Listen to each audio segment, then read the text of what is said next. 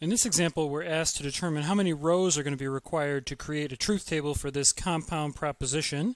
It's P implies Q, or not R implies S, and not U implies not Q. And so uh, the question is, first of all, how many rows are required? It doesn't ask us to actually uh, create the truth table, right? It's just asking us how many rows are required. And so this is entirely a function of how many propositions there are.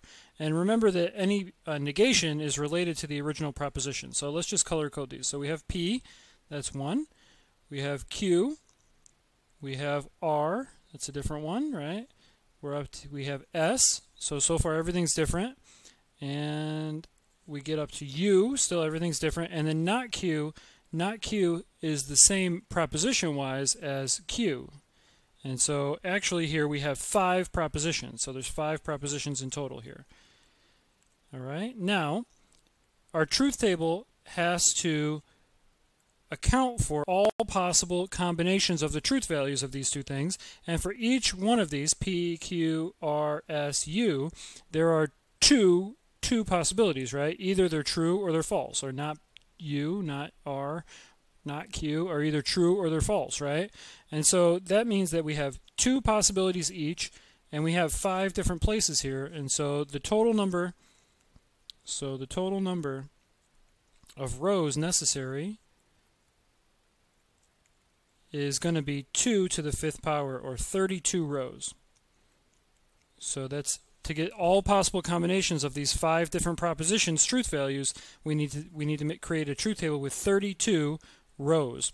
That's a lot, right? So that's why we we don't want to actually do this one because uh, that means every column is going to have 32 entries in it. So we'll we'll do 16 T's, 16 F's for the first one, and then cut it down to 8 by 8 by 8 by 8, etc.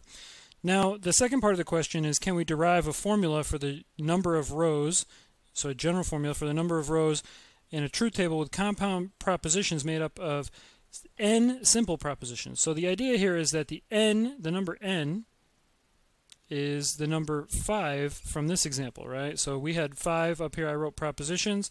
There are 5 simple propositions, and then everything else is built out of those. So th those are P, Q, R, S, U. Q, not Q, not U, and not R are actually compound propositions by this by this uh, reasoning. And so just based on our, our reasoning that we got this 2 to the fifth power, we can say then that a truth table with n propositions, n simple propositions, is going to have 2 to the n rows. Alright, so n simple props has 2 to the power n rows. And so these things can grow very, very quickly, right? So um, we're only going to compute by hand ones with small n, but you can create these in a, with a computer pretty easily for even for pretty big n.